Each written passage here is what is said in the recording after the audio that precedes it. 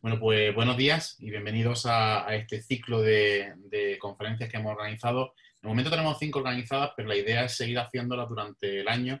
Es un ciclo que mm, no queríamos llamar de soft skills para que no se llame como siempre este tipo de ciclo de charla, entonces lo hemos llamado de una forma un poco diferente, que es tu mochila de destrezas. Un poco haciéndonos, haciendo uso de, esa metáfora que pone a veces Ana anagudo de que cada uno tenemos nuestra mochila de destrezas que la vamos cargando con cosas que sabemos hacer, con habilidades que tenemos. Y yo creo que en este sentido es muy útil, sobre todo para gente que está, eh, pues, o bien eh, que tiene que, el encargo de llevar su propio grupo de investigación, que tiene que montarlo, que tiene que llevarlo hacia conseguir proyectos, o bien gente que está montando un proyecto, una empresa. Eh, en realidad, casi cualquier proyecto que queramos llevar a cabo, al final requiere no solamente de un buen currículum, no solamente de una buena idea, de inversores, por supuesto, y también en, en otras líneas de actuaciones estamos en ello, eh, sino que además requiere de una serie de habilidades que se van adquiriendo con el tiempo y que la idea de este ciclo es por lo menos ponernos en la pista de ese tipo de destreza y de habilidades que tenemos que tener y de cosas que deberíamos de tener en cuenta cuando montamos cualquier proyecto, específicamente empresas, eh, pero también para el grupo de investigación o para cualquier otro proyecto que queramos llevar a cabo. Así que bueno, en ese sentido, de momento hemos organizado cinco, cinco que vamos a hacer de aquí a mediados de, julio. En el primero vamos a hablar de los primeros pasos con nuestros socios, que es el que estamos hoy. El siguiente será sobre gestión del tiempo, que será el 25 de junio. Otro sobre metodologías ágiles, el 2 de julio. Uno sobre negociación e influencia, que vamos a hacer con, con el psicólogo Ramón Nogueras, que nos va a hablar de cómo eh, eh, bueno, pues desde la parte de, la psicología, de la persuasión, etc.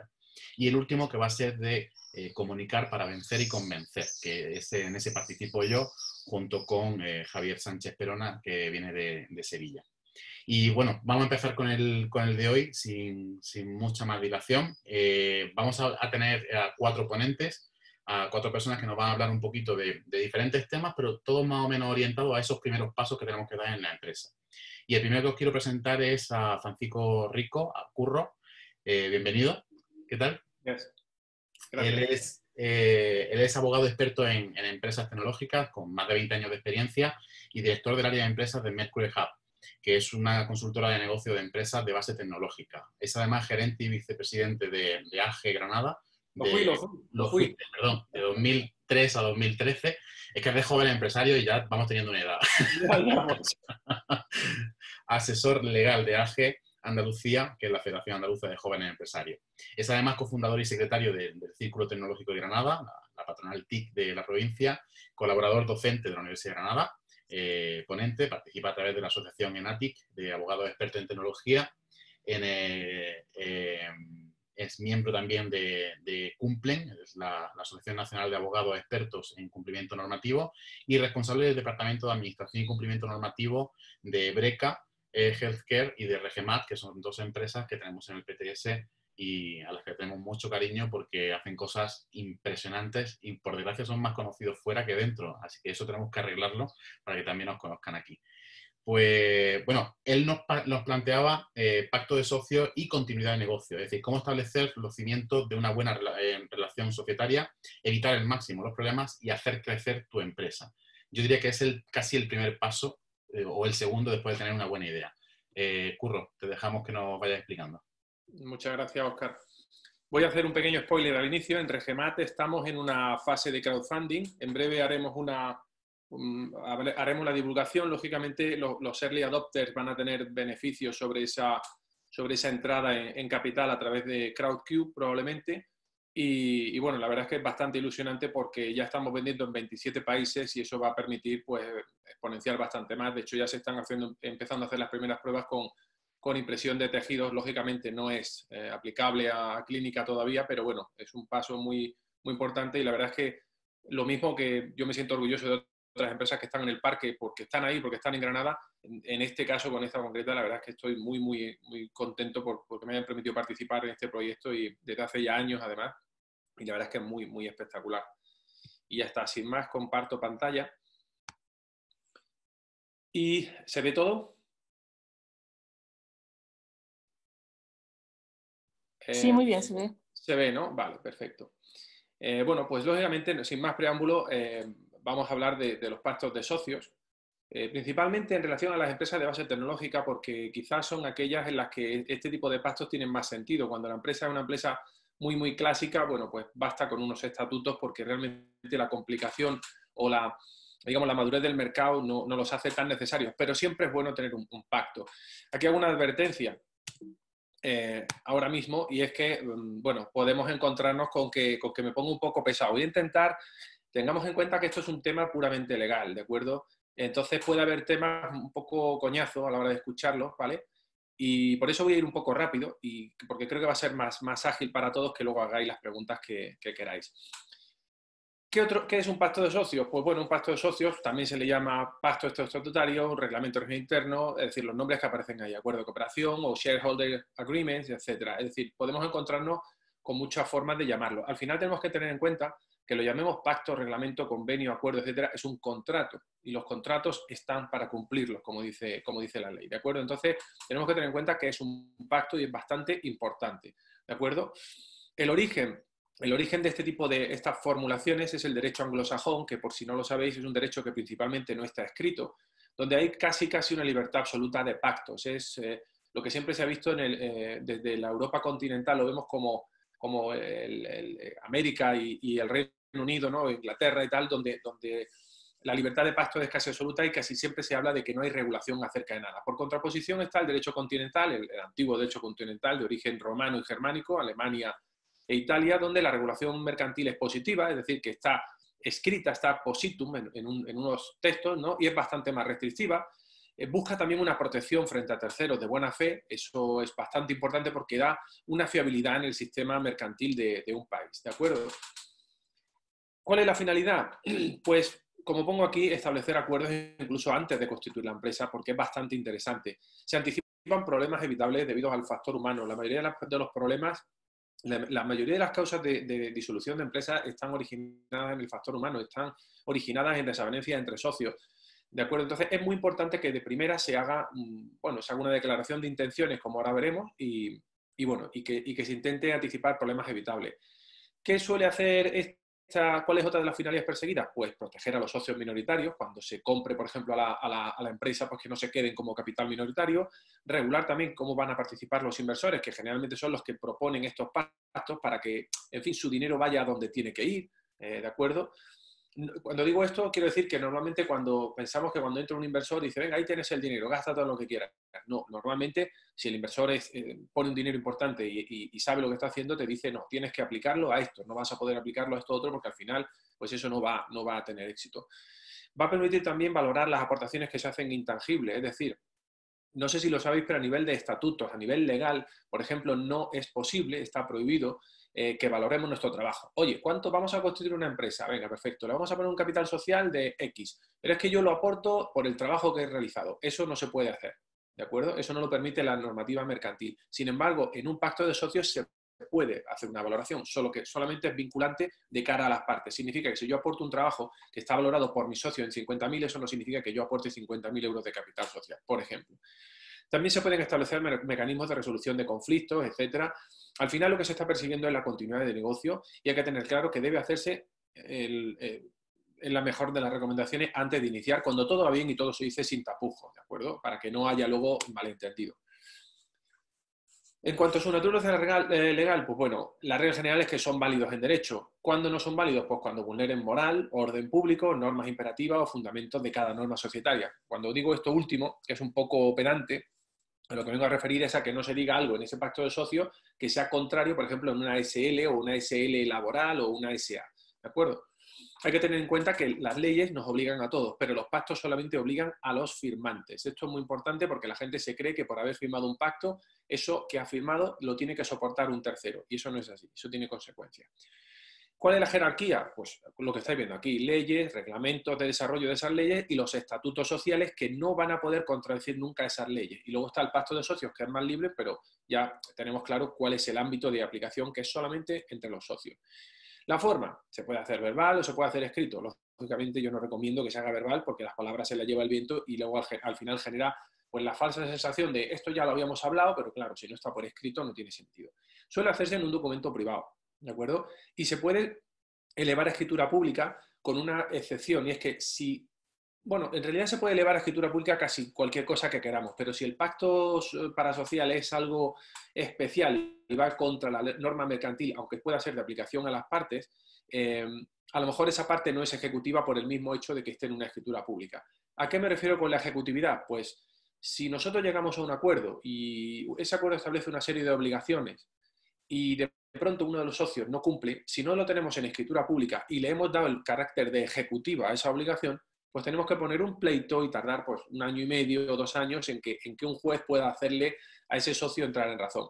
Pero si esa cláusula respecto a esa obligación se determina como ejecutiva y está en escritura pública, podemos saltarnos ese primer pleito e ir directamente a un pleito de ejecución, a un procedimiento de ejecución que es mucho más rápido y está todo predefinido. ¿vale? ¿Cuál es la fuerza que tienen estos pactos? Pues que son válidos generalmente en derecho. Y otra vez volvemos a lo mismo. La excepción, si el pacto vulnera la moral, el orden público, ¿quiere decir que ese pacto es nulo? No, es no aplicable de cara a terceros de buena fe o a terceros en general, pero siempre será aplicable, como he dicho, a las partes que lo han firmado. Y ya estoy terminando. ¿Cuáles son las cláusulas más habituales? Pues eh, lo primero que se suele hacer, y es una recomendación, es una declaración de intenciones. Esto es muy propio de, la zona de Palo Alto, de Silicon Valley, donde lo que se hace es, eh, bueno, hacer una propuesta, la gente dice, oye, nos hemos reunido aquí, el propósito es llevar a cabo este proyecto, que se define un poco, y la intención es, pues, la que sea. De esta forma, en caso de que luego haya alguna desavenencia o haya alguna complicación a la hora de interpretar cualquier mm, artículo o cualquier cláusula que se haya puesto, si hay una declaración de intenciones es más fácil interpretar qué es lo que quiere decir ese texto. Estas cláusulas también pueden, eh, pueden dirigirse a, establecer cuál va a ser el funcionamiento, cuál va a ser la organización, por ejemplo, presidencias alternas, si hay un hito, a partir de qué momento se va a hacer tal cual cosa, cuál es la obligación de vinculación de los emprendedores, que normalmente cuando hay eh, capitalistas dicen lo que quieren, como todos supongo que supondréis, es que eh, los emprendedores se queden en el proyecto y que en el momento en que ellos se vayan, pues los, inversores también se pueden ir. Se pueden establecer objetivos, se pueden establecer hitos, fases, sobre todo de cara a esa inversión. Esto es bastante habitual cuando, cuando, se entra, cuando entra capital externo, ¿vale? Como decía antes, también se puede establecer cuál va a ser el destino de las inversiones. Esto lo digo por lo siguiente y aquí hago especial llamamiento porque es muy habitual.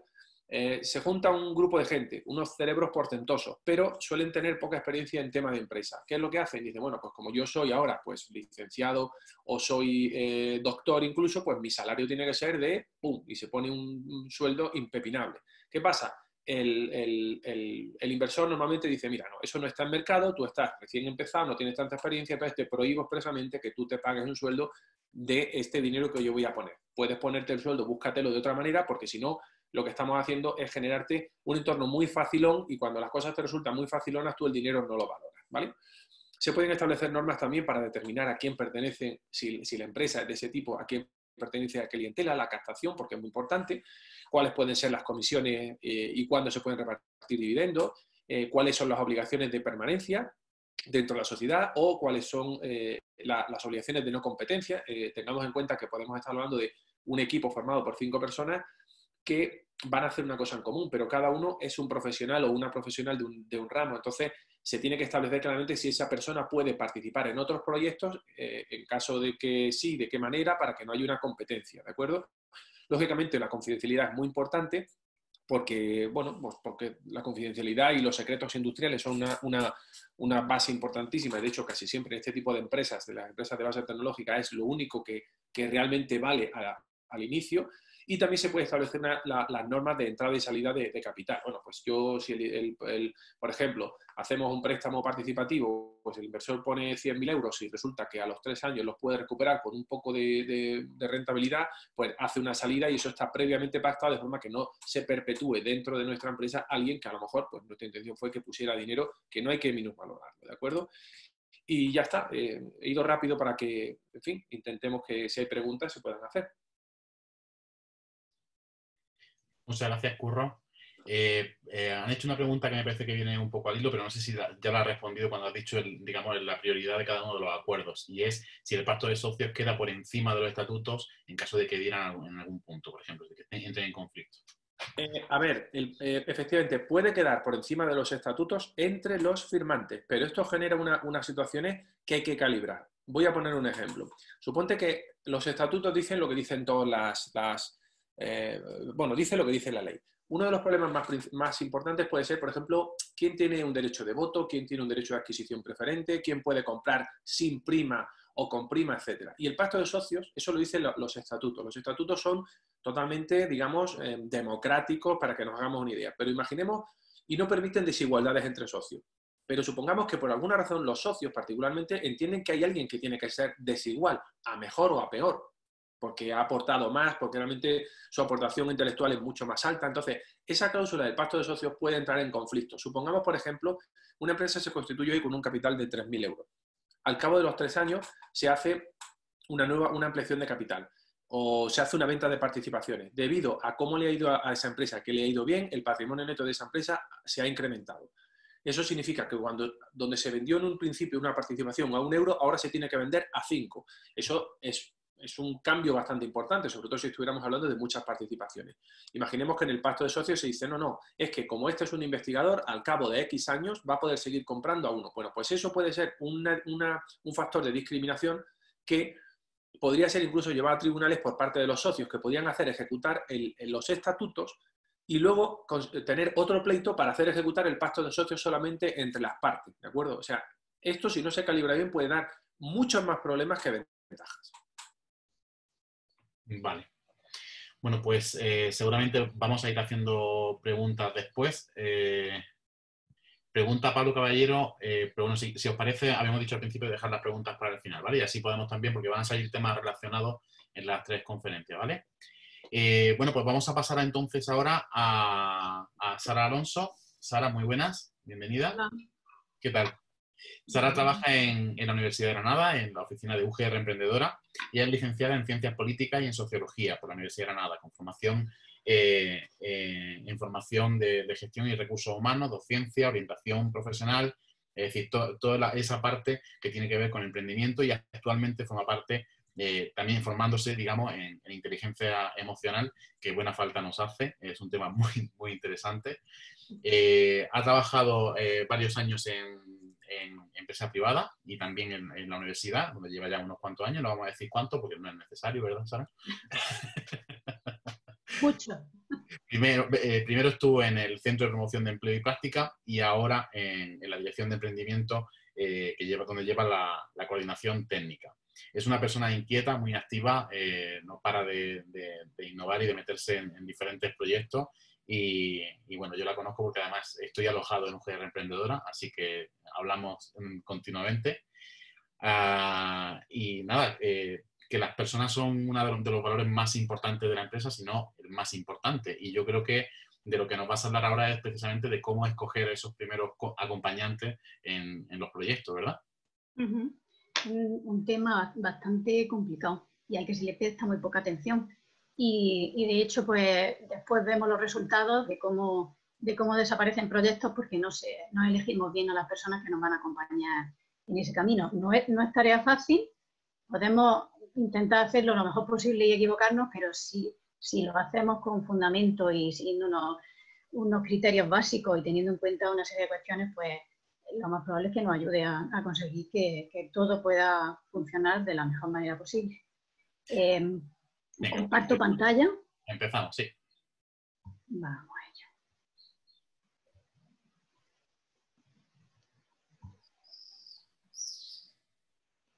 Lo veis bien, ¿verdad? Sí. Perfecto. Bueno, eh, en primer lugar, pues daros las gracias por invitarnos a, participar en esta, en esta sesión. Y mm, bueno, yo estoy en representación de, de UGR Emprendedora y me pedía a Oscar que, que, explicara un poquito quiénes somos, qué hacemos, por si hay personas que les puede interesar después hacer uso de, de los servicios y, productos que nosotros ofrecemos. Eh, de manera así un poco breve, intento explicaros todo lo que hay para que, lo conozcáis. Mm, nosotros nos llamamos ahora mismo Dirección de Emprendimiento. hace muy poco que, que tenemos este nombre. Antes nos llamamos Coordinación General de Emprendimiento, lo digo porque lo vaya a ver, en unos sitios vaya a ver dirección, en otros vaya a ver eh, coordinación, son, son cuestiones internas. Hemos cambiado de vicerrectorado y somos un servicio transversal en la universidad, o sea que tocamos, vamos dirigidos a toda la comunidad universitaria, eh, mm, alumnos, eh, docentes, mm, personas de administración y servicios, personas egresadas que han finalizado su estudio hace poco, hace mucho, o sea, todo. Incluso tenemos actividades que, están abiertas a personas de fuera de la Universidad de Granada, porque, bueno, pues ahora os comento algunas y veréis que, da, pie a eso. Mm, sí comentaros que tenemos una marca que, que también podéis encontrarnos como UGR Emprendedora. Esto puede generar confusión. Soy dirección de emprendimiento, soy coordinación, soy entonces, UGR Emprendedora nos, sirve para posicionarnos y que se nos conozca un poco más por esa marca en sí, que la dirección es como más formal y más, más institucional. Y luego tenemos también, le hemos dado nombre a nuestro espacio, se llama Breaker, lo veis ahí con colorines, porque realmente hemos roto con, con, la estructura tradicional de la universidad que está acostumbrada a, a mobiliario fijo, a espacios más, clásicos, más, y nosotros pues tenemos espacio luminoso con colores, con mobiliario movible, adaptable, y eso pues, sorprende bastante. Cuando vienen a visitarnos de la propia universidad, pues mm, les sorprende el espacio porque no, no, se, no se esperan que dentro de la universidad ya se, pueden, se pueda contar con ese tipo de, de espacio. Tenemos una parte de asesoramiento y mentorización, donde, bueno, con, con técnicos propios o con técnicos externos, es importante que os diga que, a nosotros nos gusta trabajar con, todas las entidades que hay que trabajan con, temas relacionados con emprendimiento, tanto a nivel local como regional, nacional y, estamos metidos también en proyectos europeos, o sea que, queremos estar, trabajar con, todas las personas que sea posible. De hecho, pues, por ejemplo, con Curro hemos trabajado en alguna ocasión, ha participado en algunos de nuestros, de nuestros programas y bueno, pues Oscar también ha hecho aparte de estar alojado con nosotros, pues ha hecho algunas cosas, pero me, viene a la cabeza la, famosa cata de cerveza de, de, Oscar. Y bueno, pues firmamos convenios con todas las entidades que es posible, asociaciones, fundaciones, entidades financieras, mm, cualquiera que pueda, que pueda aportar y que, y que pueda contar algo interesante, pues estamos, estamos abiertos tenemos técnicos externos, también del CADE, que trabajan con nosotros un día en semana, vienen asesores también proyectos, un, grupo de mentores de, de empresa, eh, por ejemplo, pues con, con AGE, la Asociación de Jóvenes Empresarios, pues tenemos, trabajamos muy estrechamente, hacemos networking, matching de, de proyectos con, con, mentores para que entre ellos mismos se elijan y todo sea más fluido, mentores académicos de la propia universidad. Estamos estamos contentos porque estamos, hemos conseguido implicar a profesorado para que, para que nos ayuden eh, con su conocimiento y de, además de distintas ramas, porque trabajamos en emprendimiento social, cultural, verde, y eso implica que haya profesores de, todas las titulaciones implicados en el emprendimiento. Tenemos lo que nosotros llamamos eh, la red de centros y hay una persona representante de emprendimiento en cada facultad y eso nos está ayudando muchísimo a entrar en la aula, a llegar a los alumnos y a, nuestro público donde está. No esperamos que vengan solo a nosotros, sino que también vamos a donde están ellos y les ofrecemos, les contamos lo que hacemos. Nos metemos en la aula al inicio de curso, hacemos jornadas, tenemos programas diferentes y variados de corta duración, de mayor duración, Ideas Factory en dos días intensivos se trabaja sobre ideas, eh, con grupos multidisciplinares. Em, luego hay actividades más dirigidas, que estas sí pueden interesar, pues a investigadores, eh, tenemos el programa Muévete que ahora mismo está desarrollándose, donde queremos tanto la ruta como el programa Muévete que os veis ahí y Emprende tu TFG y tu TFM, lo que nosotros buscamos es que, que mm, ideas, proyectos de investigación puedan tener una trayectoria emprendedora. Si se ve que hay alguna posible salida de comercialización o de sacar al mercado esa, idea, pues queremos darle, darle ese enfoque y si se decide el proyecto seguir adelante, pues continuaremos ayudándole en la medida de, lo posible. Y luego, bueno, eh, os hablaba de algunos programas que están abiertos a, parte de la comunidad universitaria, por ejemplo, el MOOC es un curso masivo y que, que, justamente ha tenido lugar en la época de confinamiento, es online, y teníamos inscritas más de 3.000 personas de toda de España, de, de Sudamérica, bueno, abierto a todo el mundo. Y ha venido muy bien porque estábamos trabajando en casa y nosotros personalmente no hemos, parado desde el principio porque teníamos muchas cosas que ya funcionaban online y han seguido funcionando. Tenemos ayuda y premios, programa Univergen, que va dirigido a mujeres, eh, proyectos que en su mayoría están liderados por mujeres, o un, un 50%, concurso de ideas, donde premiamos ideas que salen de facultades. De esta última convocatoria que hemos tenido han salido 24 ideas, de las cuales hemos premiado 18 solo la idea y, intentamos trabajar la evolución de esa idea, con cursos de emprendimiento, con cuantía un poquito más, más alta, iniciativas emprendedoras, de mujeres, de emprendimiento verde, de emprendimiento social, spin-off. Y pues también eh, las relaciones institucionales, pues ya he hablado de ellas, tanto dentro de la propia universidad como, como de manera externa. Y destacar también que tenemos, tenemos un espacio que eh, de coworking donde hay empresas alojadas y un espacio de trabajo común, una zona de incubación donde son despachos, tenemos también empresas durante un periodo de tiempo están allí incubados con nosotros y espacios que, que podemos utilizar, salas de reuniones, aulas formativas mm, con las directrices de funcionamiento que establece la universidad, pero que hacemos actividades tanto nuestras como, como externas. he dejado de compartir, no sé, ¿seguís viendo la presentación vosotros? ¿Se ha, se ha ido ella sola? No, se ha ido. Vuelvo a compartir. Pues seguimos. Se ve que no puede estar mucho rato en la misma, no le gusta, ¿no? Ahora no me deja avanzar. Ahora, aquí pues un esbozo de todos los programas que tenemos para que hagáis una idea. Pues venimos haciendo, el, año tiene 365 días, pues hacemos más de una actividad al día, podáis hacer una idea del, volumen de movimiento que tenemos. Y, somos pocos, ¿eh? tenemos mucho trabajo y, eh, pero bueno, van, salen las cosas y, sobre todo nos ayuda mucho el, colaborar con, con, instituciones externas que, sacamos trabajo en común y eso es, muy interesante. Aquí tenéis la manera de poneros en contacto con nosotros si os hiciera falta y lo veis oportuno. Tenéis la página web, estamos en redes sociales, en la página web hay una newsletter, si os, os dais de alta en ella, os llega información semanal de todas las actividades que hacemos, tanto nosotros como externas y a las que le damos difusión. Y tenéis un email genérico, pero también tenéis los nuestros, los de las personas que estamos trabajando en Mujer Emprendedora dentro de la página web donde está el equipo. Y bueno, pues dicho esto, me meto en materia, que parece que vamos rápido. Eh, yo quiero que, reflexionéis sobre, sobre lo que significa trabajar solo o acompañar, ¿vale? Mm, el, el hecho de que decidamos contar con otras personas eh, mm, tiene que ser una, una, decisión que esté mm, muy bien pensada, ¿vale? No es algo que yo me acuesto por la, por la noche, me levanto por la mañana y digo, venga, pues sí, solo o acompañado. Es algo que, que vaya en función de, de, nuestro, de nuestros proyectos, que vaya en función de, nuestra, de nuestras metas, de, de qué queremos hacer en un futuro, qué nos planteamos, cuál es nuestra visión, nuestra misión, todo eso tiene que estar muy bien clarificado.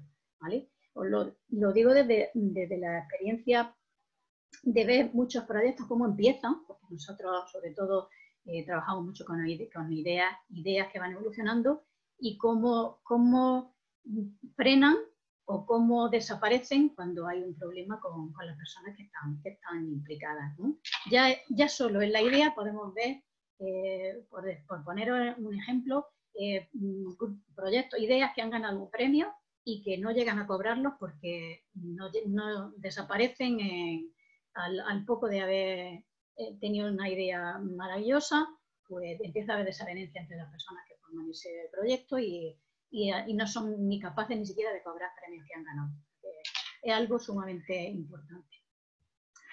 No, no siempre es lo ideal tener Mm, gente de fuera, hay que, hay que tener las cosas claras y tomar decisiones. Es cierto que cada vez hay menos emprendedores que, lo saben todo. Antes, yo qué sé, me pongo en el caso, mi padre era un pequeño empresario y, y, yo lo recuerdo de pequeña que él hacía de todo, o sea, yo lo veía hacer su trabajo en sí y luego eh, la contabilidad, llevar la documentación, había muy pocas cosas que externalizaran, muy pocas. Y claro, pues eso significaba que, estaba que trabajaba mañana, tarde y noche. Yo lo veía eh, los domingos y, a la hora de comer. Y ahora es cierto que, las cosas se dificultan, que entra la, tecnología, que hay mucha parte de jurídica, la, comunicación, la difusión también eh, de manera muy tecnológica, todo, y no, cada vez hay menos emprendedores que lo saben todo y que necesitan de otras personas para, para hacer evolucionar su proyecto. Si queremos crecer, está claro que, que, solo, como hemos estado hasta ahora, pues no, no, no vamos a poder conseguirlo. Entonces hay que plantearse el, incorporar personas en, nuestro proyecto. Y si queremos dinero, pues que sepáis, tengáis claro, lo sabréis muchos de vosotros, de vosotras, que, que los inversores prefieren equipos. ¿Por qué? Pues porque si, falla alguien de un equipo, pues nos queda la las otras partes que pueden hacer frente a que el proyecto siga adelante y no, desaparezca a veces trabajar en equipo no funciona. No funciona cuando queremos que el equipo sustituya nuestra inmadurez. O sea, yo no soy capaz, yo no me veo, pero si vienen otras personas me van a dar ese empuje, esa fuerza que no tengo error. Si nosotros tenemos que ser los primeros que tengamos claro lo que queremos y a dónde queremos llegar. Y a partir de ahí se incorporará gente que nos ayude a llegar a donde queremos. Y además, mm, no tener las cosas claras nos puede llevar a asociarnos a cualquier precio. Sí, venga, vale, me parece bien, no pensamos, ¿no? Que venga alguien que saque esto adelante conmigo y como, como sea. No funciona cuando hay algo demasiado grande. Si yo quiero seguir siendo la, estrella de la fiesta y hay otras personas que también no quiero compartir mi estrellato, pues mejor te quedas solo si no eres capaz de, ver que hay otras personas que saben y que pueden complementarte y te pueden aportar mucho. Cuando no hay compromiso ni con el equipo, ni con la, ni con la misión, ni con la visión, si no te sientes con, comprometido con otra, no vas a ser capaz de compartir lo, que tú quieres, ni vas a, buscar un poco de adaptación con esas personas que intentan, pues no, no lo hagas. Cuando hay comportamientos tóxicos, personas que, que, no aportan, personas que se quejan, que culpan a otros, que se sienten víctimas, pues no, no, mejor no contar con ese tipo de perfiles. Y sobre todo, cuando podemos hacerlo solos, pues no, planteemos nada más. Esto no es, no es que esté de moda y yo me pongo ese traje porque se lleva, no, esto es que lo necesita y que realmente está convencido de que tiene que entrar gente en tu empresa. Y entonces nos volvemos a hacer la pregunta, ¿realmente necesito a alguien más? Al emprender es muy importante que analicemos qué recursos tenemos y qué necesitamos exactamente. Y si detectamos que lo que estamos haciendo en nuestro proyecto, en los productos, servicios, si vemos que realmente necesitamos incorporar partes esenciales, pues entonces ahí es cuando hay que hacerse un planteamiento de, cómo van a entrar las personas que vamos a necesitar. Si hacemos, pues, echamos una, clasificación, un modelo de equipo, ¿vale? puede haber muchos modelos, pero pongámonos en el caso de, un proyecto que tiene una parte de finanzas, que tiene una parte de administración, de gestión de recursos humanos, de ventas, una parte jurídica, marketing, desarrolladores, es verdad que hay partes que con frecuencia se externalizan mucho más, más fácil de externalizar, pues, por ejemplo, eh, tema de gestión de recursos humanos, pues eh, alguien que me lleve nóminas, contratación, seguros sociales, no lo llevo yo, lo externalizo. Eh, la parte jurídica, bueno, pues si son cuestiones puntuales que no voy a estar tratando de manera frecuente, pues me busco una, empresa externa o algún profesional liberal que me ayude en, eso, en momentos concretos que lo voy a necesitar. El marketing, pues busco a alguien que lo haga. ¿no? Hay partes que, por ejemplo, el tema de, la, de las ventas, pues yo conozco varios emprendedores que me dicen, mira, Sara, yo, mm, como yo vendo, no, no, no encuentro, no voy a encontrar a nadie, es que no, no me fío. Hay veces que no, que prefieres hacer cosas tú antes de sacarlas fuera. Pero si llega el momento que te planteas pongamos en el caso de una, de una empresa que, que, hay ciertas partes que no está descubriendo, pero que se plantea que pueden ser partes estratégicas, pues entonces necesito a alguien que haga eso porque yo no sé hacerlo, no tengo ni idea y puede ser interesante que coja peso. Entonces está en disposición de contar con alguien externo. Pueden haber distintos perfiles que puedan estar trabajando en nuestra empresa, los promotores, personas que, empezaron, un socio trabajador o socia que, pone capital o que pone eh, local o que pone conocimiento pero y que trabaja con nosotros, o, una persona que solamente aporta capital y que no trabaja con nosotros, simplemente se lleva una parte de los beneficios, un profesional liberal, un freelance que no trabaja puntualmente con nosotros, no está contratado, pero no está haciendo un trabajo de más tiempo, de menos tiempo, personal contratado de plantilla o incluso empresas externas que nos puedan sacar ayudar a, hacer determinadas cuestiones como, gestión de recursos humanos o, campañas de marketing y, comunicación, etc. ¿vale? Aquí eh, vuelvo a hacer hincapié en, la importancia, en, la importancia, de seguir un proceso mm, claro y, lineal a la hora de, meter o de plantearnos la posibilidad de que entren socios en nuestro, en nuestro proyecto.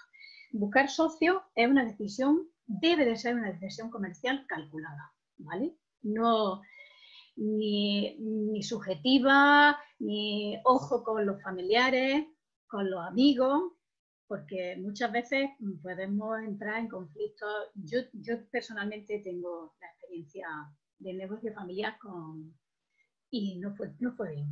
Entonces, bueno, pues desde, desde mi experiencia no es fácil. A veces yo pienso, si yo, si yo montara un negocio, y muchas veces pienso que lo haría, tengo varias hermanas, lo haría pues, con una de ellas, me gustaría trabajar, pero luego otras veces me da miedo, ¿no? Después de haber tenido una experiencia previa, decir, a ver si eso puede significar la ruptura de, una relación de hermanas muy buena y, puede haber conflictos después por, este tipo de cosas, porque bueno, a veces dices, bueno, prefiero casi meter a alguien que no, que no conozca, que, que haga una, una, buena selección y que, que, tenga la confianza de, bueno, que le pueda decir las cosas sin, sin.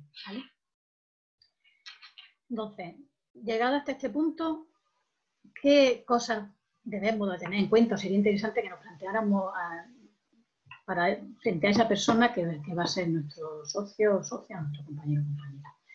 Pues bueno, es muy importante que comparta objetivos con nosotros, una, visión de futuro, los planes que, tenemos en, mente, oportunidades que se pueden aprovechar, riesgos, que esté dispuesta a asumir riesgos es muy importante, fundamental, y que nos dé confianza.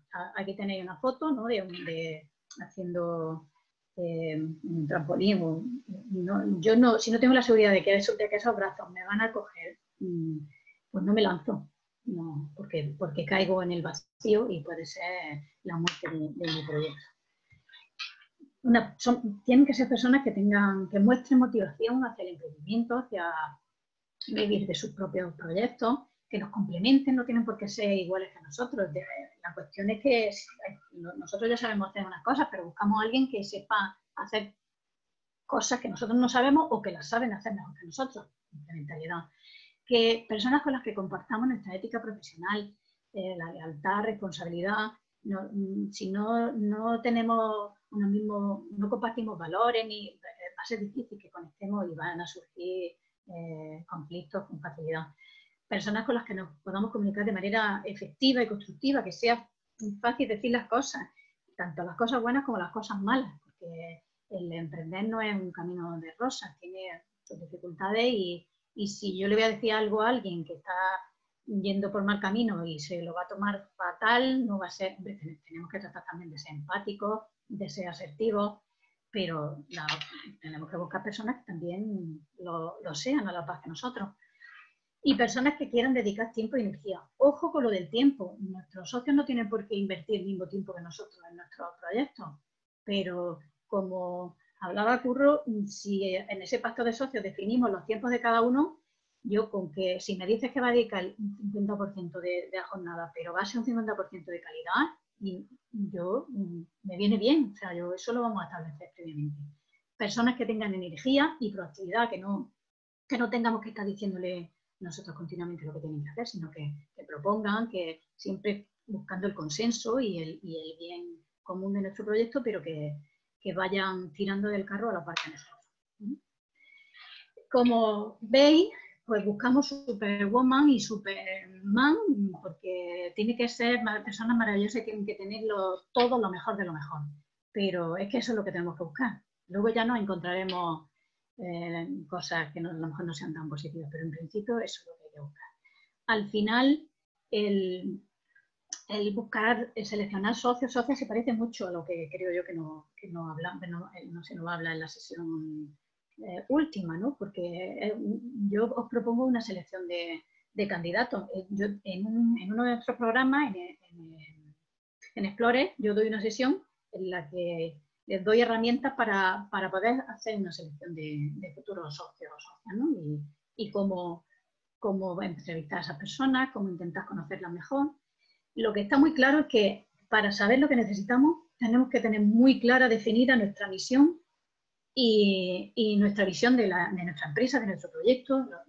Tiene, que estar clarísimo qué, qué queremos y hasta dónde, qué, cuál es nuestro para qué y a dónde queremos llegar definir y documentar roles, habilidades y responsabilidades del equipo. Y cuando digo documentar, es que los llevéis a papel, que no se quede en la cabeza, igual que hablábamos, que hablaba antes Curro del pato de socio. Nada de, que hemos hablado, hemos quedado, no, vamos, vamos a, escribirlo, vamos a ser precisos y vamos a transformar después cuando haga falta eso que hemos escrito, pero vamos a, tenerlo escrito. Y vamos a enfocar bien nuestras necesidades, no nos dispersemos. Vamos a ver qué, realmente qué es lo que queremos y qué es lo que necesitamos. Y eso es una tarea de, propia de, de cada uno. Recomendaciones para conocer al potencial compañero socio. ¿Qué interés y, habilidad, y experiencia tiene? Vamos a conocer tanto su parte profesional, su trayectoria, su, un poco su currículum, como, su persona, ¿no? ¿Qué le gusta, qué quiere, a dónde quiere llegar, qué, por qué se plantea trabajar con nosotros, qué le podemos ofrecer, cuál es su situación financiera, eh, si, si tiene recursos que puede aportar, si eh, si, por el contrario no tiene nada y lo que vamos a tener problemas porque lo que quiere es sacar dinero de alguna manera y no se va a implicar lo suficiente, todo hay que estudiarlo todo. ¿Cuáles son sus expectativas de tiempo? ¿De qué tiempo dispone real? No, no, no yo sí, nosotros estamos hartos de ver gente que, dice que va a estar al 100% y luego eh, yo que estoy en la parte de incubación con, con dos de vecinos, pues yo, yo veo la, es cierto que no, hay que estar siempre continuamente allí, en el espacio, en la oficina trabajando, pero se ve quién está más, quién está menos, quién va, quién entra, quién sale, mm, ve un poco la, la implicación que tiene, que tiene la gente y qué tiempo dedica, cuál es el compromiso que está dispuesto a adquirir esta persona, sí, cuáles son sus problemas y limitaciones, importantísimo. Eso no, es, no se le pregunta a una persona, oye, ¿tiene algún problema? Porque nos va a decir que no habrá que indagar, habrá, como decía Oscar, si no sabéis hacerlo vosotros, buscar a alguien que os ayude, pero hacerlo, ¿vale? ¿Cómo maneja la adversidad? ¿Cómo se defiende? Que, no, eh, se puede mm, hablar, hacerle preguntas de situaciones que ha vivido, que mm, podemos indagar en su pasado de, alguna manera, podemos, tenemos que averiguar cómo, cómo se desenvuelve, podemos, podemos plantearle situaciones que lo pongan en, en estrés, hay que dejar que esas personas hablen, que nos pregunten, que saquen las dudas que tienen, porque eso nos da ideas también de por dónde van sus expectativas. O sea que tú, según lo que me preguntes, veré si lo que te interesa es el dinero, si lo que quieres aprender, si quieres aportar, si quieres mm, darnos, ofrecernos tu experiencia, tu conocimiento, si, estás deseando de trabajar con, en un equipo, llevas muchos años trabajando solo y quieres, te, te lo pide el cuerpo. Hay que investigar la reputación de estas personas. Ahora con las redes sociales, por ejemplo, pues relativamente sencillos y las huellas que van dejando. No, me viene a la cabeza, no, hace poco hicimos una selección de alumnos para prácticas en, nuestro, en Mujer Emprendedora y nos metíamos en las redes sociales y en algunos solamente veíamos las fotos que cuelgan de las fiestas de los botellones. así difícilmente tengo yo información de, y además otras por, los amigos, no, sé, la, parte formal como que no la encontramos por ninguna parte. bueno, sí, está de divertirse, pero mm, tendrás que plantearte darle un, un, retoque a la cosa, ¿no?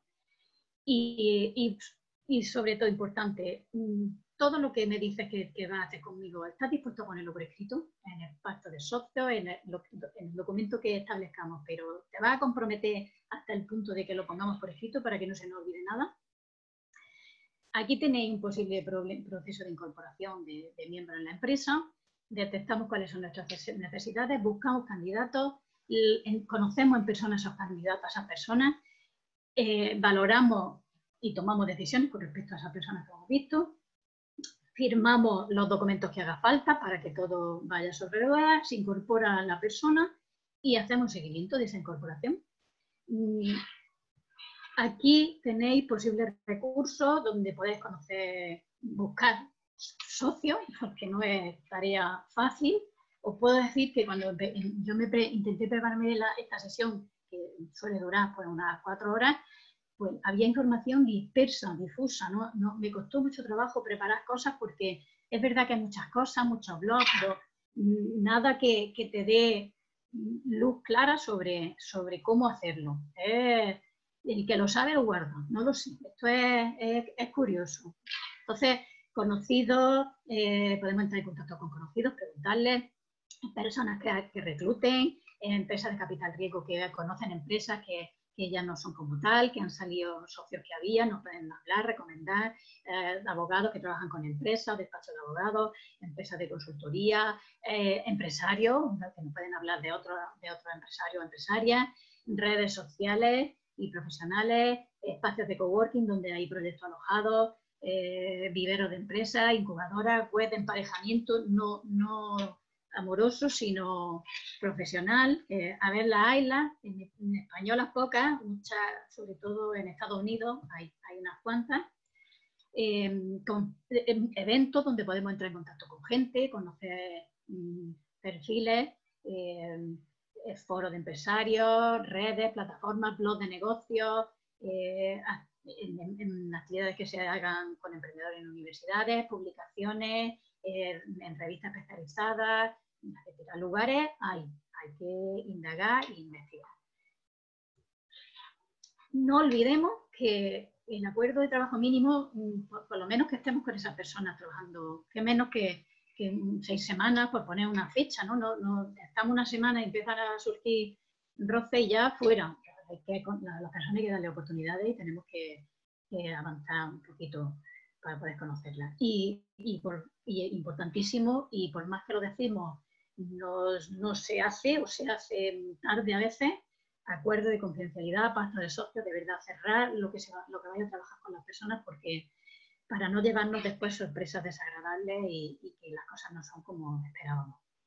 Una vez que la persona esté, vamos a intentar redefinir con esa persona la visión y la misión, porque entró cuando teníamos nosotros una y a lo mejor esa persona nos puede hacer aportaciones interesantes y útiles para que podamos mejorar vamos a redefinir juntos roles y responsabilidades y vamos a, seguir esos acuerdos y, de esas personas para que veamos que se está cumpliendo lo que, lo que teníamos.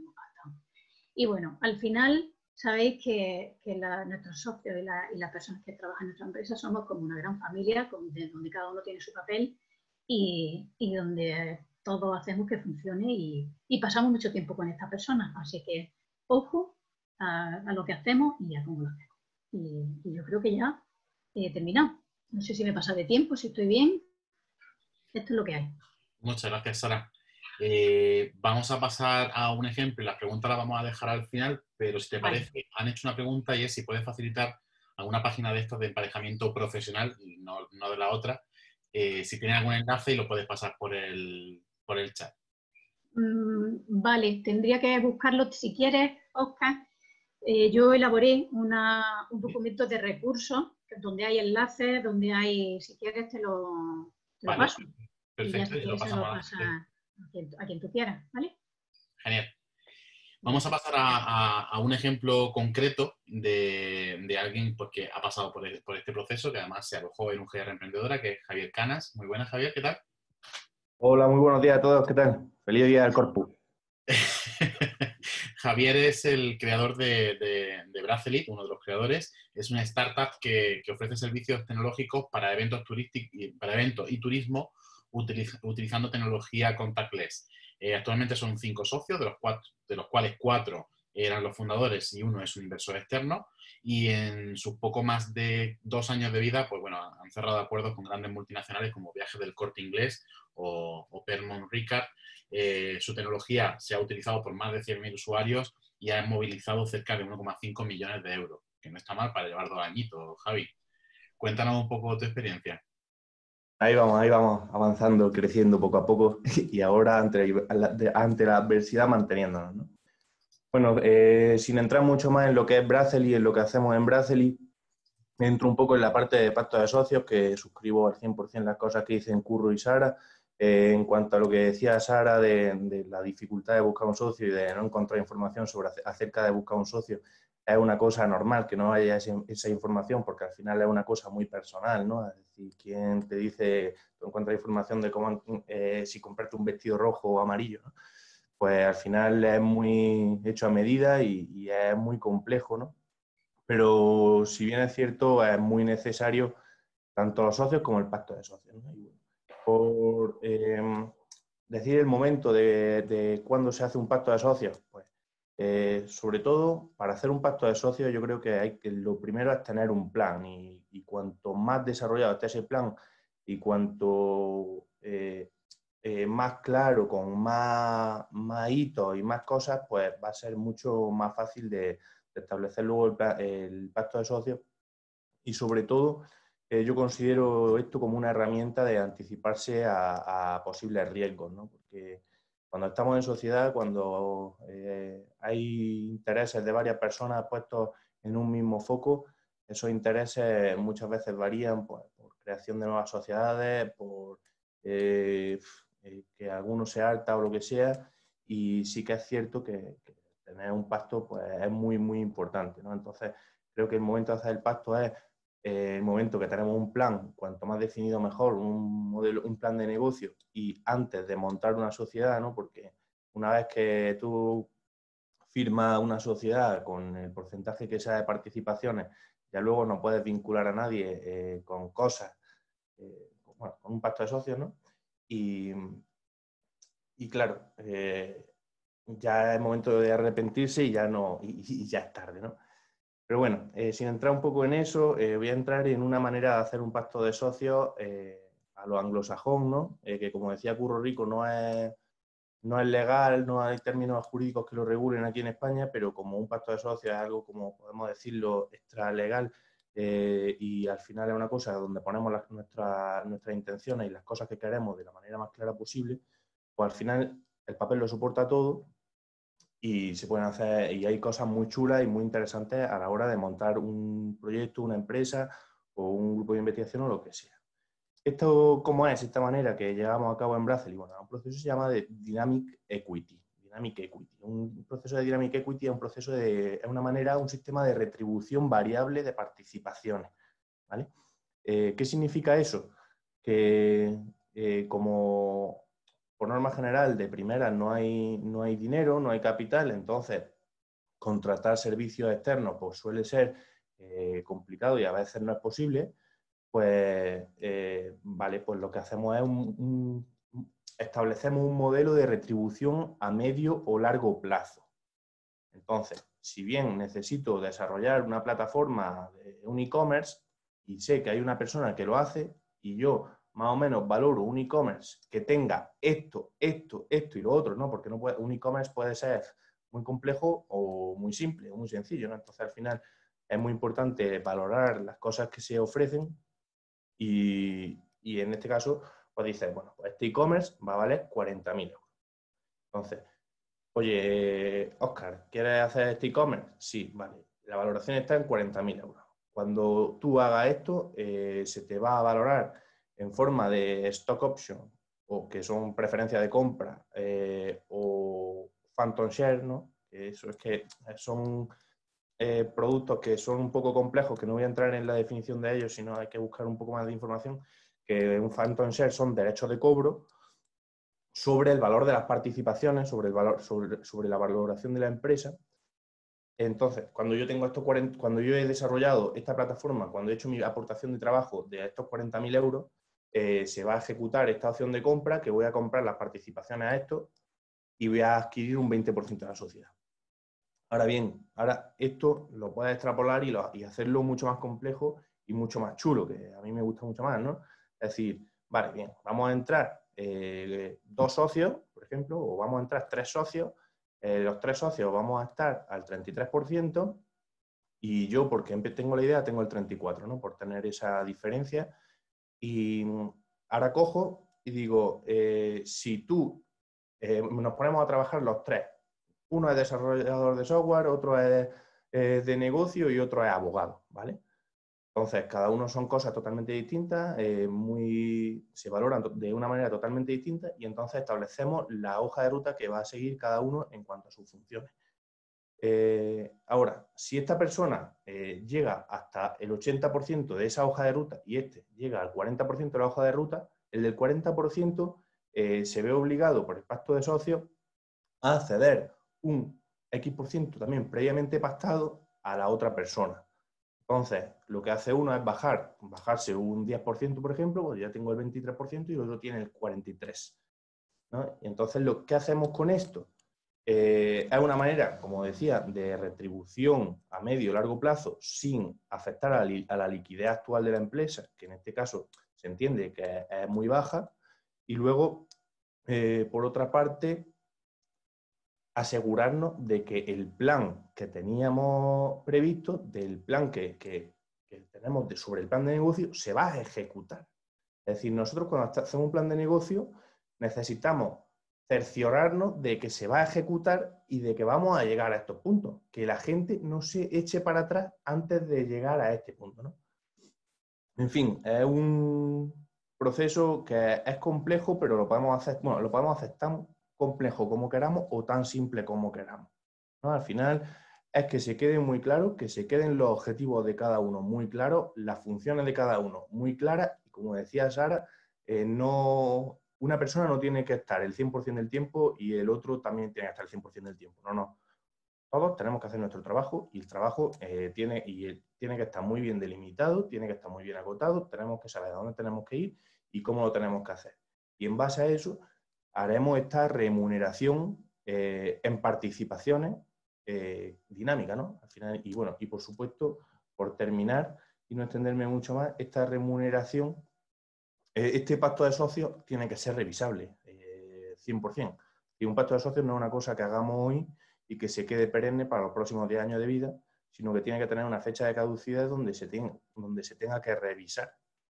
Y en el caso de las cosas pequeñas, en plan de, de, las empresas iniciales, lo normal es que ese pacto de socios no se extienda más de dos años y que como mucho después de dos años se tenga que revisar bueno, eh, sé que es un poco complejo, sé que no son términos comunes eh, a la hora de establecer eh, el reparto de participaciones y tal, pero es muy interesante y bueno, nosotros lo hemos hecho, lo hicimos hace pues, en 2017 y la verdad es que es una, herramienta bastante potente que nos ha ido muy bien. Muchas gracias, Javier. Y en vuestro caso, ¿cómo lo hiciste? Porque empezasteis cuatro socios al principio, ¿no? Nosotros empezamos cuatro socios, sí. Bueno, pues al final estableces cuáles son eh, las cosas que aportan más valor a la empresa. Entonces, en nuestro caso, las cosas que más aportaban valor a la empresa, tú estableces una pirámide, ¿no? Y en la, cúspide de la pirámide están las cosas que aportan más valor a la empresa. En este caso, eran clientes por un lado y era software por otro, ¿no? Entonces, eh, sobre la valoración en cliente y en software, eh, tiene un porcentaje que tú puedes adquirir en forma de phantom share o de stock option en función de lo que decida cada empresa. En nuestro caso, eh, decidimos phantom share porque, no, porque era, más, eh, suave en cuanto a la fiscalidad. Entonces, eh, establece eso. Lo, que más, lo que más beneficio trae a Bracely son clientes y software. Después, pues negocio, eh, finanzas, contabilidad, eh, tal. Luego, eh, comunicación, no lo recuerdo ahora mismo. y luego, una en una tercera balda, lo que poníamos era pues, el trabajo del día a día, porque al final, si hay software y hay clientes, pero si no hay cosas del día a día de pues que tengo que rellenar esto para lo que sea, que tengo que hacer una presentación para no sé quién, tal, son cosas que al final te quitan mucho tiempo y luego no se valoran como eh, a ti te gustaría. Entonces, bueno, es un poco complejo, pero al final, como decía, eh, tiene que estar muy claro. Eh, tenemos que poner perfectamente lo que queremos cada uno, nuestros intereses, y sobre todo ser justos. Es decir, yo, por mucho que haya empezado una idea, si yo no estoy aportando tanto como el otro, pues, tío, a ti la burra, ¿no? Es decir, que tú la sacas para adelante y tú te mereces más que yo. Porque si no somos justos, al final un pacto de socios no tiene mucho sentido. Y tenemos que ser, tener la humildad de decir, contra es que tú aportas más que yo, pues yo me pierdo un poco de participaciones y bueno, no pasa nada, que es que vale mucho más eh, el 20% de 100.000 euros que el 100% de 20.000 euros.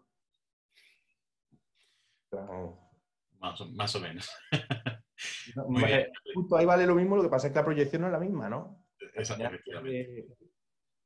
Hay que un poco eh, saber que si nos juntamos con alguien es para crear valor y, si no crea valor, pues no nos debemos de juntar con esa persona. Correcto. Vale, hay algunas preguntas, las vamos a hacer al final si os parece y vamos a pasar a la tercera intervención que es de, Paola. Hola Paola, Paola Cantaboni. Hola, buenos días. Chao, ¿cómo estáis? Muy bien, todo muy bien. ¿Vosotros qué tal? Muy bien, aquí entretenidos con, las, cuatro charlas que nos vais a ofrecer, que la verdad es que son muy interesantes. Paola es eh, de inicio arquitecto técnico en, Italia eh, y viendo un poco la crisis inmobiliaria que, golpeó el, sector, pues se fue a Estados Unidos y allí cambió el foco totalmente y se centró sobre todo en las personas. Y ha colaborado con One Billion Rising, donde descubrió la pasión, eh, que su pasión es poder ver el mundo de una manera más inclusiva. En 2015 vuelve a Italia, trabaja en organización de eventos, pero muy poquito tiempo porque te viniste a Granada y desde entonces, bueno, ahora hace ya cuatro años que está en Novatec, que es una empresa de desarrollo de software donde intenta llevar a cabo procesos de maneras creativas y que sean centrados en las personas como, como seres humanos eh, antes que los recursos como tal. Y pero es que en realidad las personas son el recurso más valioso de, una empresa. Eh, Paola, bienvenida. Buenos días, bienvenido a todos. Muchísimas gracias, Oscar, por la oportunidad que nos ha, mm, me ha dado para presentarme, para explicar cómo hacemos las cosas en Novatec. Hemos hablado de mochila de destreza y nadie ha enseñado la mochila, así que yo he traído mi mochila hoy. Y aquí la tenéis. Voy a compartir mi pantalla para que podáis ver un poquito. Aquí. ¿Podéis ver mi pantalla? Estupendo. Empezamos. Tu mochila de destrezas. Aquí va mi mochila. He sacado todo lo que tenía, en mi mochila y lo he puesto en esta presentación. Una selección de personal muy personal. ¿Qué significa? Pero antes de empezar, vamos a ver la agenda de hoy. Tenemos una intro. Hablaremos un poquito de selección de personal, porque eso lo vais a encontrar en cualquier sitio en Internet, podéis encontrar las guías que os dicen cómo seleccionar el personal, pero cómo podemos hacer esta selección más personal. Nos tomamos un café, nos damos un paseo y vamos a ver los casos de éxito que tenemos en Novatec en este caso. Pero ¿quién está hablando? Oscar ha, ha hablado un poquito de mí y yo soy Paola Cantaboni, me considero un arquitecto técnico sin cimiento y una millennial por vocación.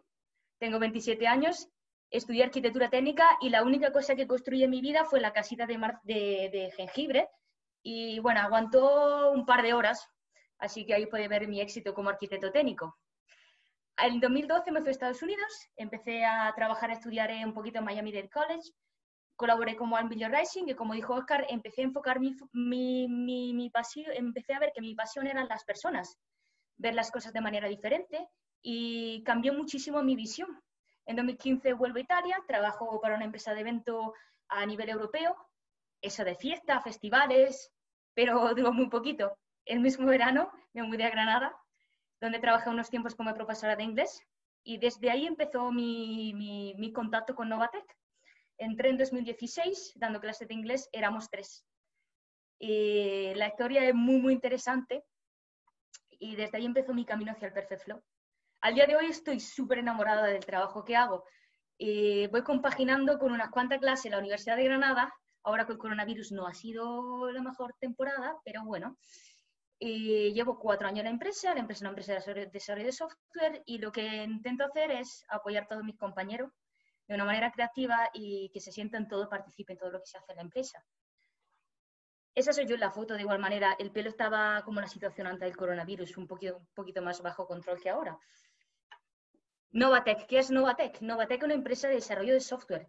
Tiene una matriz en Stuttgart, en Alemania, y tiene una, em, una rama aquí en Granada. Tenemos una oficina en la Gran Vía, muy chula, se ve todo, pero la cosa más importante de Novatec son las personas. Tenemos un equipo estupendo de personas.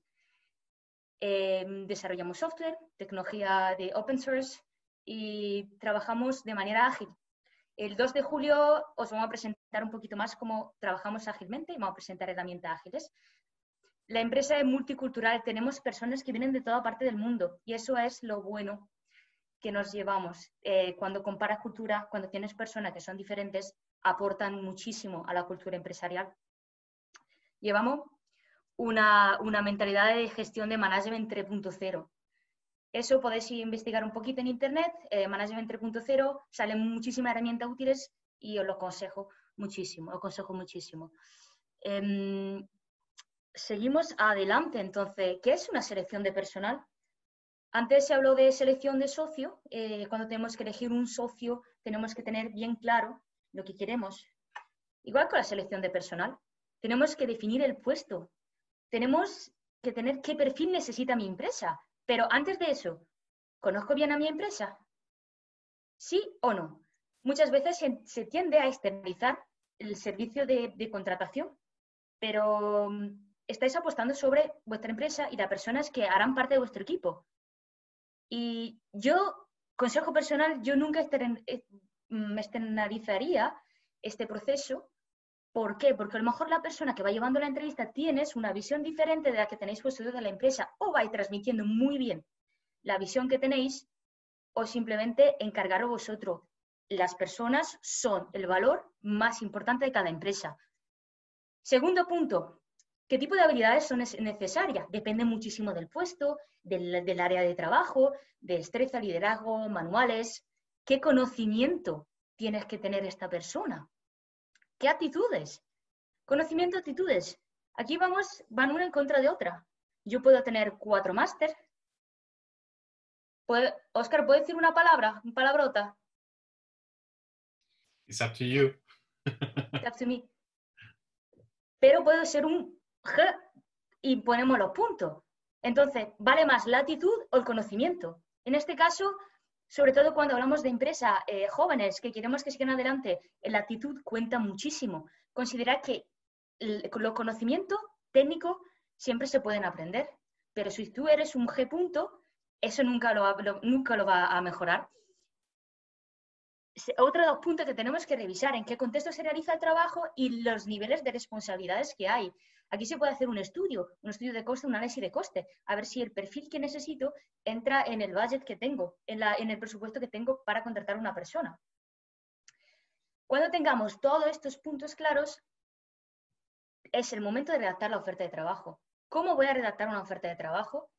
Tengo que utilizar términos sencillos y concretos. Yo no puedo poner un título, busco eh, ingeniero que tenga cuatro másteres eh, que sepa de infraestructura, pero que sepa también de front. No, le va, no, ahí significa que no sabéis lo que queréis, no sabéis qué persona queréis que entre en vuestra empresa. Otro consejo que os voy a dar, cuando vais a sacar la oferta de trabajo, separar los párrafos, que le dé tiempo a respirar a los pobres Cristo que, están leyendo vuestra oferta.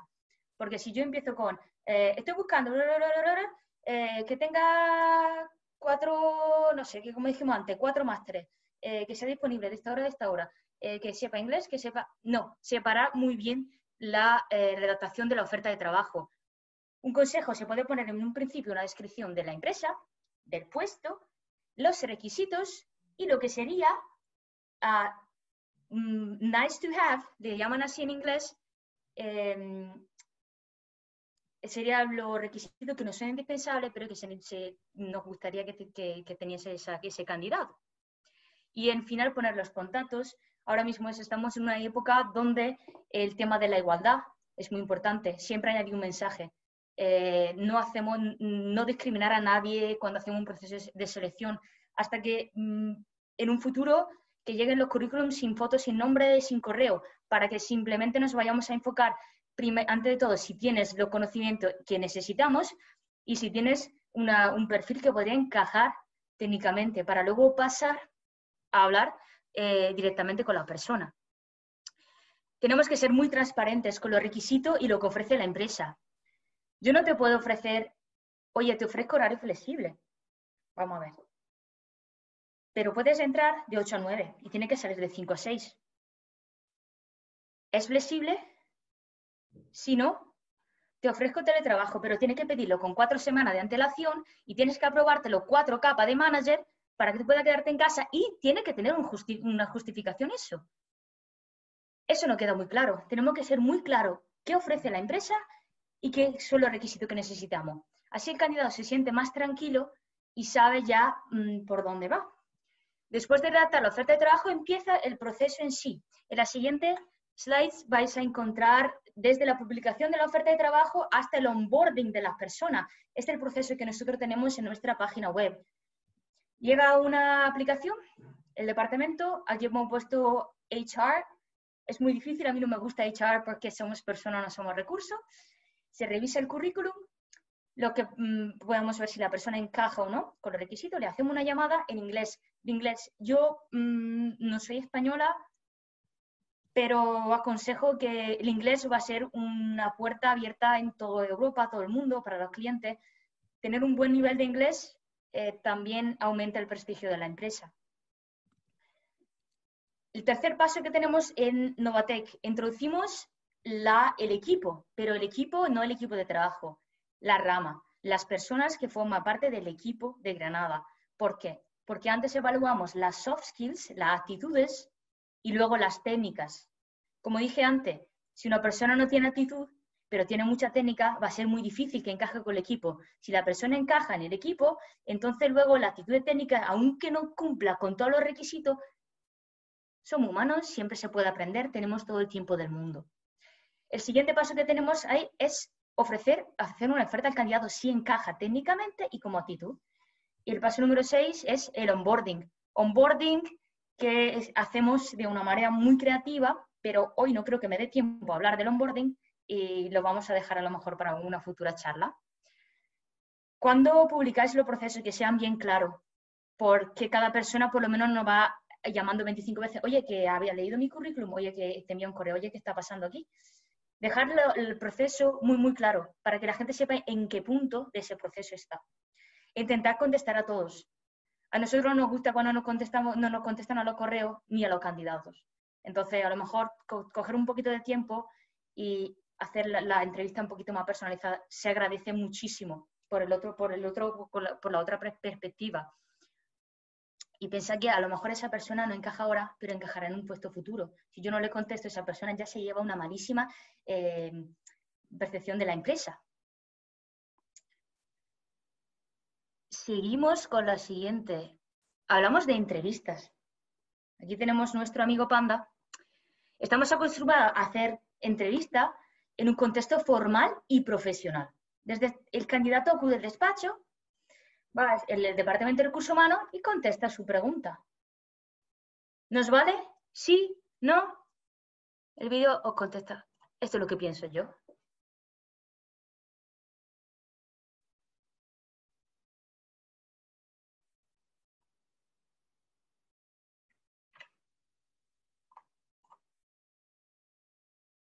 Muy personal significa hacer la entrevista de manera diferente. ¿Nos tomamos un café? Eso es lo que le podéis preguntar a un futuro candidato. Es una técnica muy útil para ver la actitud de la educación de los candidatos. Estaba hablando, no me acuerdo si con Oscar, y es muy interesante. Tú invitas a un candidato a tomar un café y ves cómo se, se va portando, cómo pide las cosas al camarero, cómo trata eso hace parte de su, su, ser, de la persona.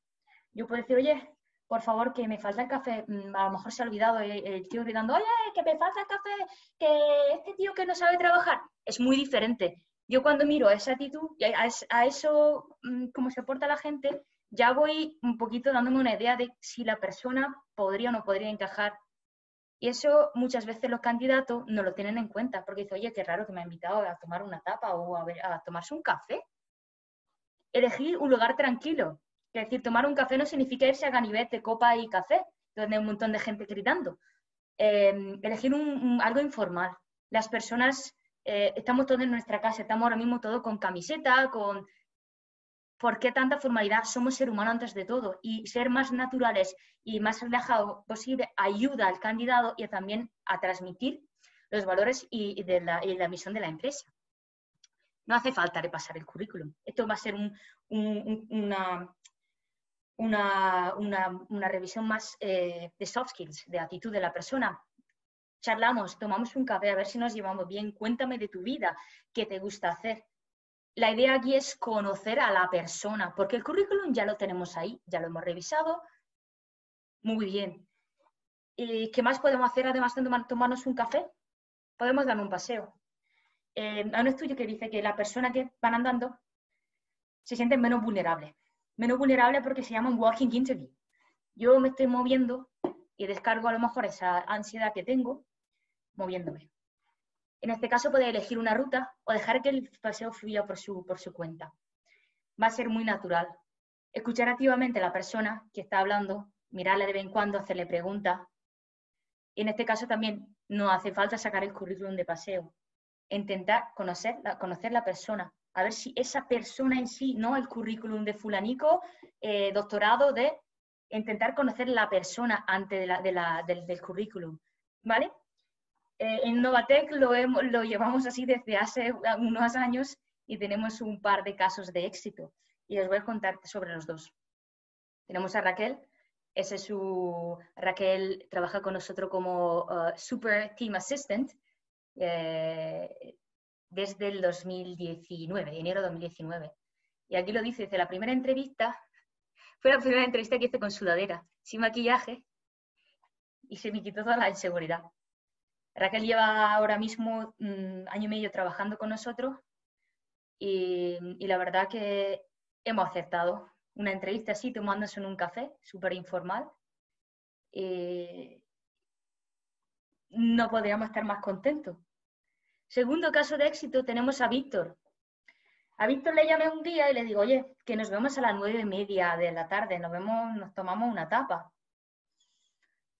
Y él que dice, al principio me pareció un poco raro, casi no iba a aceptar. Digo, ¿qué pasará a las nueve y media de la tarde tomándose una tapa? Nunca me ha pasado. Pero al final se sintió más relajado y, Víctor lleva dos años y medio con nosotros y es una de las personas más comprometidas que tenemos en la empresa, hasta el punto que desde entrar como ingeniero de software ahora se encarga de ser el Feel Good Manager. Es una figura que se usa para eh, averiguar que todo el equipo estés bien. ¿Qué más contaros?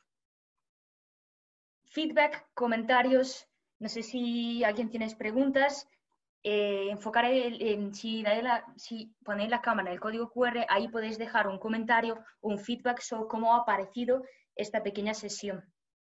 Em, enseguida creo que tengamos una ronda de preguntas y respuestas. Así que Aquí os doy la gracia y, y dejo la palabra a Oscar. Muchas gracias, Paula, y, muchas gracias a, los cuatro ponentes que hemos tenido hoy. Eh, si alguien quiere hacer una pregunta, simplemente activar el micro y, y, hacer la pregunta. Voy a sacar a colación una conversación que habéis tenido en el chat, por si no todo el mundo está leyéndolo, y es que empezaba con Pablo Caballero preguntando por el tema de implementar las técnicas de compraventa de participaciones que no están recogidas en el ordenamiento jurídico, etcétera. Si os parece, sacamos un poco ese tema porque han aparecido también el tema de los phantom shares, etcétera, de porcentajes. Si os parece, comentamos esto un poquito.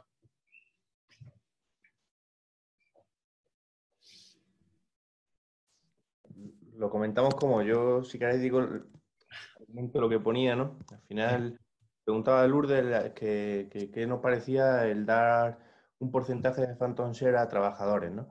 Eh, a mí eso es una técnica que me parece súper interesante porque mm, eh, al final una persona muy buena que tengamos en el equipo, que sea, que sea muy buena en algo, eh, bueno, muchas veces su ambición es mayor que, que, la ambición de la empresa y se quiere ir. Entonces, una manera de retenerla y de alinear intereses con los intereses de la compañía, pues dándole un porcentaje de phantom share. Pues lo que pasa es que, bueno, esto es, la phantom share es un derecho a cobro a futuro, eh, que, es lo que yo intentaba poner, ¿no? Al final es establecer el momento que se, quiere, que se puede permitir ejecutar esa phantom share.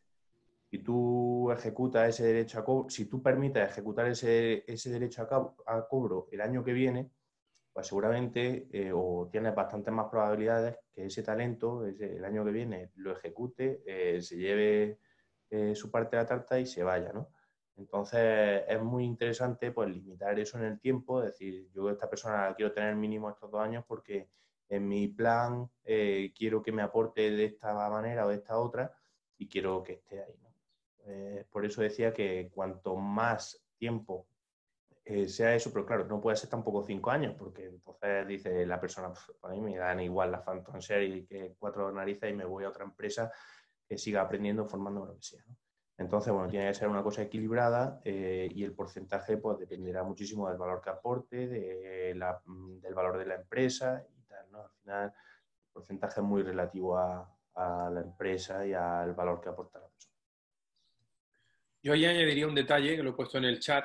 Básicamente, eh, lo que hay que tener en cuenta son las proyecciones que hay a futuro, es decir, eh, y también cómo sea la composición actual del, del accionariado de la empresa porque si son bastantes socios, es probable que el accionariado esté bastante repartido. Entonces, si a futuro encima queremos hacer una o dos rondas, que sería lo, básico, hasta incluso antes justo de vender la empresa, si calibramos mal ese, porcentaje, no tanto de la Phantom Share, recordemos que una Phantom Share es una acción fantasma, realmente no va a existir, es un derecho de cobro, como dice Javier, y ahí también hay que pensar en la parte tributaria, es decir, cuando se plantea cualquier cosa en una empresa, tienes que, tienes que tocar todos los palos, tienes que ver el tema de forma horizontal. Es decir, que, cuál va a ser el problema que va a haber a nivel legal, a nivel societario y a nivel tributario sobre todo, porque muchas veces hacen operaciones y cuando ya están terminadas y tal, nos llega una cartita de Hacienda generalmente dos o tres años después y nos dice, oye, que hace dos o tres años tuviste que declarar esto de esta manera, no lo hiciste y ahora te lo voy a pedir, te lo voy a pedir con interés y te voy a poner una sanción. Entonces,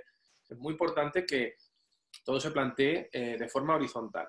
Y como dice Javi, pues bueno, eh, es un, es un gran incentivo y, evidentemente también hay que, hay que limitarlo en el, en el tiempo. Yo soy más partidario en ese sentido, si el perfil es bastante interesante, de no hacer las phantom, sino darle capital real en la, en la empresa, ¿no? Porque eso sí que, eso sí que lo vincula dentro del, proyecto. Y luego preguntaba también Pablo, que también lo he respondido por ahí, eh, que si es complejo implementar técnicas de compraventa que no están recogidas, por supuesto. Y de hecho esa pregunta es bastante interesante. ¿Por qué? Porque no, nos olvidemos que estos son figuras que proceden del mercado estadounidense, que como decía en la respuesta, mola mucho parecer que somos Facebook y, tal, pero eh, el sistema es bastante distinto. Eh, en, el, caso español, eh, hay una carencia muy grande en el caso español y es que no se fomenta desde las administraciones, sobre todo la estatal, tributaria, además, la, la, participación de esta manera. Entonces, al final, uno de los problemas puede ser que a nivel legal se puede hacer, pero el efecto que tiene tributario pues, hace que no sea interesante de cara al inversor o que en el momento de que, llegue la hora de tributar para cualquiera de los intervinientes, pues sea, un, en fin, un pellizco gordo y un, y un gordo. Entonces, todo eso también hay que tenerlo en cuenta, que estamos copiando figuras de, de un entorno que no es el nuestro, valen, pero hay que saber medirlas muy bien, porque no va a haber una una regla o una, una norma que nos va a definir, sino una amalgama de normas bastante grande, las, leyes tributarias, eh, el, código de comercio, las leyes de sociedades de capitales, etcétera. Son demasiadas cosas para tener en, cuenta. Vale. Eh, Pablo, ¿quieres intervenir? Yo sé que tú has tenido alguna experiencia también con esto y podría ser valioso eh, sacar un poco tu experiencia y, y cómo se solventó. ¿Qué, tal? Primero, eh, felicitaros a los cuatro por, las ponencias que han sido súper interesantes y, lo digo desde haber escuchado ya unas cuantas, ¿vale? Entonces, eh, os quería, eh, a ver, en mi experiencia, cuanto menos ruido societario haya, mejor, ¿vale? Sobre todo si estamos hablando de startups o, empresas que al menos sobre, sobre el papel, cuando las creas, tienes intención de que puedan llegar a crecer bastantes, ¿no? que no sean empresas de servicios sin más. Porque el, hecho de eh, diluir un poquito el, capital entre trabajadores, eh, trabajadores que en un momento dado olvidemos pueden salir de, tu empresa e irse a otra, aunque lo, retrases un poquito en el tiempo, eh, al final lo que estás introduciendo es eh, ruido de cara a una due diligence cuando estás en un proceso de, pues eso, estás evaluando un éxito o simplemente la entrada de la compañía de, un tercero. El hecho de que haya, pues eso, eh, capital social, entre comillas, muerto o zombie, ¿vale? Porque ya no está ligado directamente a la empresa, es un tema a considerar yo cada vez eh, soy más, más, fan de, si quieres recompensar a alguien, eh, recompénsalo con pasta, ¿vale? O, de, hay muchas formas de recompensar a alguien y esto Paula creo que puede, puede hablar bastante, sin tener que eh, meterlo en capital, porque eso es un problema. es un problema y, y, con el tiempo puede ser una, una, debilidad, porque estamos hablando eh, no lo digamos en su mayoría de sociedades limitadas, no de, sociedades anónimas o, no, estamos hablando de acciones, estamos hablando de participaciones y en un entorno jurídico que, como ha dicho Curro, eh, no tiene nada que ver con el anglosajón y es mucho más um, quirosado, mucho más estático. Y ya me, callo. Pero eso, yo creo que hay muchas formas de motivar a alguien sin necesidad de meterlo en capital. Estupendo. Eh, comentar también eh, que en UGR Emprendedora están haciendo sesiones de formación y, hubo el otro día una sobre el pacto de socios que se va a repetir. Eh, Sara, si queréis comentarlo para que la gente lo tenga un poco en el radar y que se pueda dirigir allí para una sesión un poco más larga, más completa de cómo, de cómo gestionar esta parte, para que también, bueno, bueno, Curro también es especialista en este tipo de, cosas y además es abogado y ha pasado por esa experiencia. Pues, estamos ahora mismo Sí. Ah, vale. No, bueno, yo puedo deciros que estamos, la sesión que hubo de pacto de socios se, realizó dentro del programa MueveT, que va dirigido a, investigadores y a, profesorado de, bueno, en la Universidad de Granada, investigadores de todos los ámbitos. Y la sesión que, tenemos prevista de pacto de socios eh, estaría dentro de, Business Skill y la, bueno, contamos con, una persona que que es de la Asociación SECOP, que ha, estado muchísimos años trabajando en el ámbito de la empresa y nos va, a nos va a hablar, pero de manera más específica, sobre lo que serían cláusulas. O sea, queremos algo más, más, más práctico que la gente pueda ver, va a darnos casos y no recuerdo ahora mismo la fecha, si queréis, ahora la pongo en el, en el WhatsApp también, ¿vale? Pero sí, sí que va a ser. Sí, tú estás también, ¿verdad, Javi? Claro, es el día 16. El día 16 y Porcelo yo la he dado ahora y yo doy las otras dos horas y son, claro, es para, contar un poco más extenso lo que, lo que os he introducido, ¿no? Porque al final es complejo, pero bueno, se puede hacer tan simple como se quiera, pero claro, para explicarlo y hacerlo simple, pues en 15 minutos no se puede. A mí me, gustaría comentar una cosa eh, desde mi experiencia personal. A mí, yo llevo con el, tema de empresa desde el año 2000 y, uno piensa con el tiempo que, vas aprendiendo algo y después la realidad te, lo que te suele mostrar es todo lo que te falta por aprender.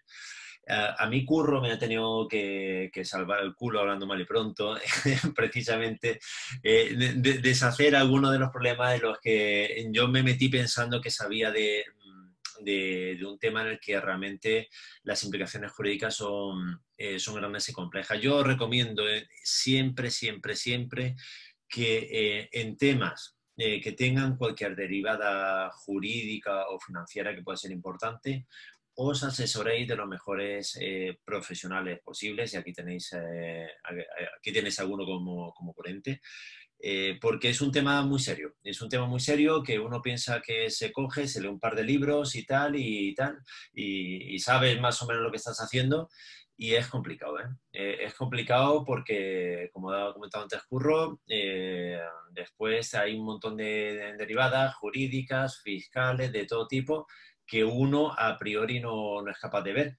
Y no tiene nada que ver lo bueno que seas haciendo otras cosas. Eh, yo, como emprendedor, os doy el consejo de que siempre que podáis os aconsejéis por profesionales, porque además es bastante más barato de lo, que, de lo que pensáis y desde luego mucho más barato que desfacer los entuertos en los que nos podemos meter sin darnos cuenta.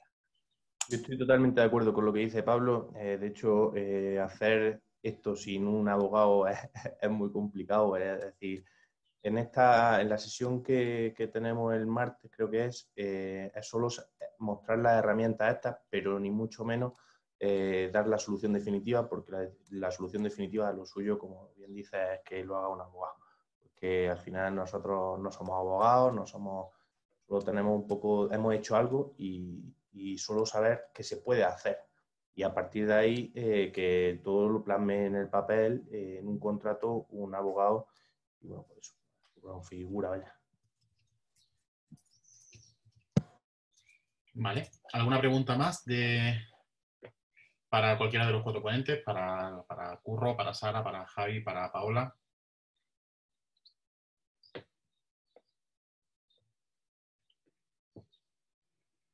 Nadie, podéis escribir o podéis hablar, eh, como queráis.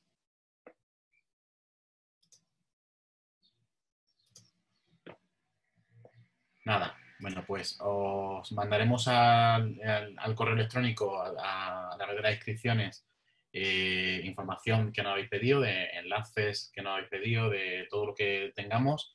Eh, aquellos que queráis pasar la presentación, de todas formas, esta sesión queda colgada en, YouTube, ¿de acuerdo? Haremos un, pequeño eh, hilo de, vídeos con, con, todas las sesiones que tenemos y invitaros a que vengáis a la siguiente sesión, que es el día 25 de junio, donde vamos a hablar con, con Giuseppe Favale sobre la gestión del tiempo. Tan importante eh, como trabajar X horas, que lo hemos hablado, de cuánto tiempo dedicas, etcétera, es que ese tiempo sea eficiente y se utilice con, con, criterio. Y sobre todo ahora que muchos nos hemos tenido que recurrir en casa y hay gente que no estaba acostumbrada a trabajar eh, sin los compañeros delante, sin ese movimiento de oficina, pues hacer esa buena gestión del tiempo nos ha costado un poquito eh, y es importante, sobre todo, saber para qué queremos utilizar el tiempo y cómo utilizarlo de, forma, de forma coherente. Entonces, la siguiente sesión irá sobre eso. Eh, en la siguiente volveremos a ver a, Paola, eh, que nos hablará de, metodologías ágiles. es el día 2 de julio. Te interrumpo, más que yo son mis compañeros, mi compañero Miguel, que está aquí escuchando, y otra compañera de la empresa, que ellos son los, los pro de metodología ágil. Correcto. Eh, y nada, tenéis todas las inscripciones de todas las sesiones ya abiertas, así que os podéis inscribir ya para que os mande el recordatorio. Vamos a intentar arreglar eh, eso de, que sea un poco más complicado entrar para que tengáis el, enlace directo. Y nada, si no hay más preguntas, pues volver a agradecer a, Sara, a Curro, a, Javi y a Paola eh, esta sesión, que yo creo que ha sido muy interesante. Eh, sobre todo, yo creo que nos pone sobre la pista de, cosas que tenemos que pensar cuando empezamos con un proyecto o cuando ya tenemos un proyecto iniciado. Eh, y poco más. No sé si queréis dejar algún mensaje final y si no, pues cerramos. Muchas gracias a toda la gente que está participando hoy. importante. Estupendo. Pues nos vemos en la siguiente. Muchas gracias a todos. Hasta luego. Hasta luego. Luego, adiós, adiós. Buen día.